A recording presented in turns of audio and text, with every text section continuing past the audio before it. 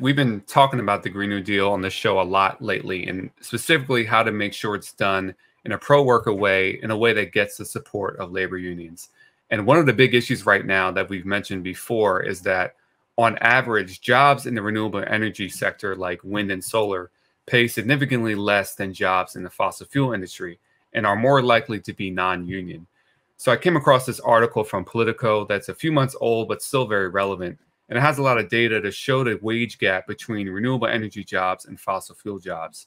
So the article says energy workers employed by solar and wind power companies earn significantly less than those who mine coal or drill for natural gas, according to data compiled by former energy, energy secretary Ernest Moniz's Clear Energy think tank.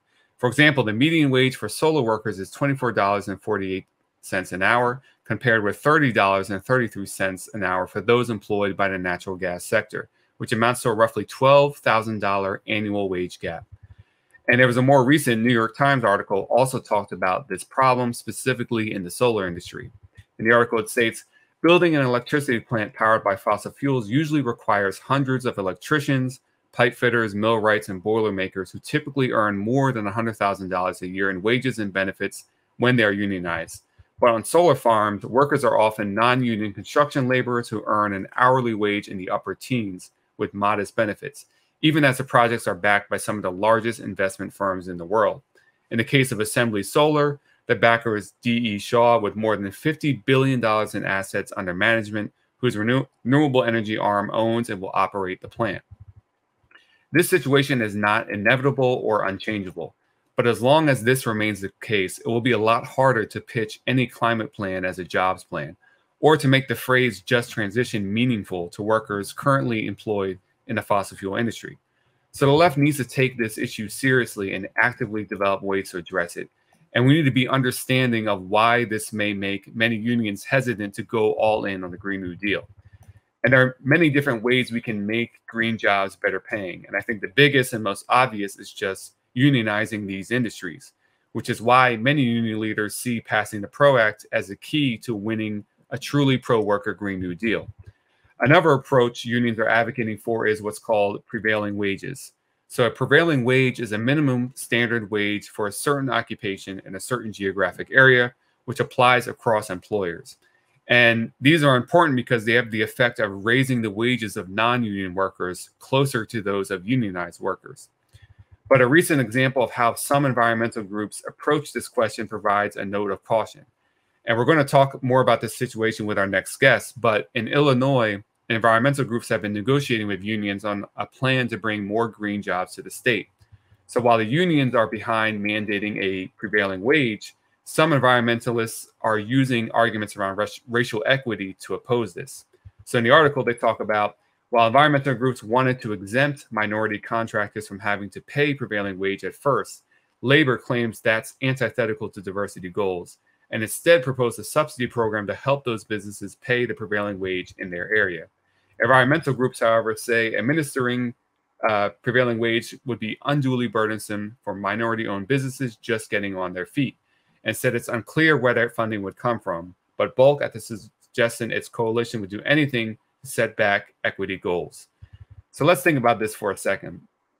For a variety of historical factors, including, yes, discrimination in the building trades, non-union contractors are actually more likely to have a larger proportion of workers of color.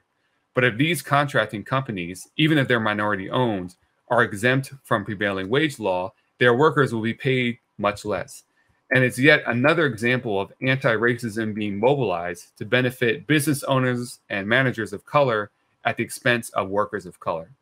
So, far more people will benefit by making a living wage, whether they are in a union or not we can't allow ourselves to be taken in by those arguments that ultimately hurt our aims, like Ch- Charlie Brown trying to kick the football yet again.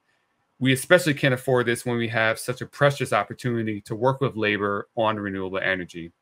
Um, and Jen, I don't know your thoughts on that, but um, the the minority contractor thing really got me. I mean, it was like, I mean, perfectly plopped there as an example of how this stuff can go really long, re- really wrong.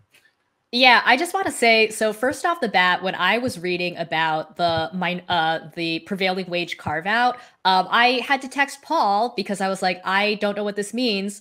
There's no way that this could mean that you know minority owned or like black and brown owned businesses are somehow exempt from paying the prevailing wage. That just can't be the case. That's too cynical like for uh, I for a supposedly progressive group, right, to advocate. Um, and so, you know, of course, Paul has to text back, yes, that is what they mean. And as you were saying, I think that that uh, I, I don't know. I find it unbelievable. I it it obviously is not going to benefit, as you said, workers of color in any way, uh, whether they're union or non-union. Right. Um, and I want to just also shout out Matt Huber, who of course writes for Jacobin and Catalyst on climate and energy. Um, he's made some really, I think, great comments in the past about how uh, you know, a lot of the environmental or like climate justice movement really um, wants to foreground the sort of racial equity part of climate justice. And i think for good reason right? Like we know that uh, you know so-called black and brown communities are also frontline communities. They bear the brunt of climate change. Uh, they bear the brunt of pollution. Uh, and you know it it I mean, there's no denying that many Black and Brown communities are disproportionately affected. But I think that Matt Huber makes a really good point when he says, you know, that may be true, but is this the way that we're actually going to get to a mass movement that can adequately take on capital and also then by extension stop climate change or adequately fight climate change? Um, i think that you know at i think that sort of foregrounding the racial justice element although of course as i said before i understand the impulse. I think that it can go wrong in several ways. One is, of course, what you just pointed out, or what we've been talking about, where you have these uh, very, I guess, you know, cynical or just completely wrong-headed um, uh, exceptions for, you know, uh, I guess non-white business owners uh, telling them they don't have to pay the minimum wage or the prevailing wage um, that's kind of at uh, that's kind of at you know the worst end i guess. Um, but then also i think even though a lot of this racial justice discourse when it comes to climate change is as i keep saying very well intentioned um, it can also it also runs the risk of suggesting that this problem is not anybody else's right that like climate change over the next 10 or 20 years or whatever is really going to only affect frontline communities and not anybody else. We, of course, know that's not true. Um, and like I said, I don't think, you know, at least for me, it doesn't feel like a way to start with uh, building a mass coalition. Um, and finally, on the labor, you know, angle, I'll just say that I think that we now have very many examples of how, um, when you know when we're talking about climate change and labor is treated as just sort of another person at the table, right? Or like another quote stakeholder or another participant rather than actually co-leading. Um, I think that that is not, I mean, that might work for, you know, various things within the climate justice movement. But when it comes to specifically green jobs, good jobs, and a just transition, I just I don't I don't see how it can be any way other than labor leading.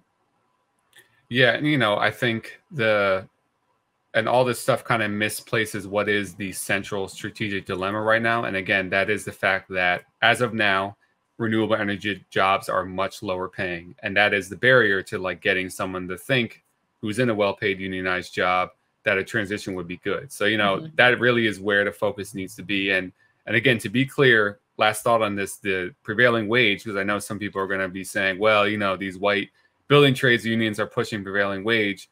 Again, that actually mostly benefits non-union workers because yep. if you're in a union, you're negotiating your wage is probably higher than prevailing. Prevailing just raises the floor for non-union workers, you know, so that's primarily actually who it would benefit. If you like this video from The Jacobin Show, please hit like and subscribe. You can also watch the full episode and catch our future live streams by clicking the join button below and becoming a Jacobin YouTube member. Thanks.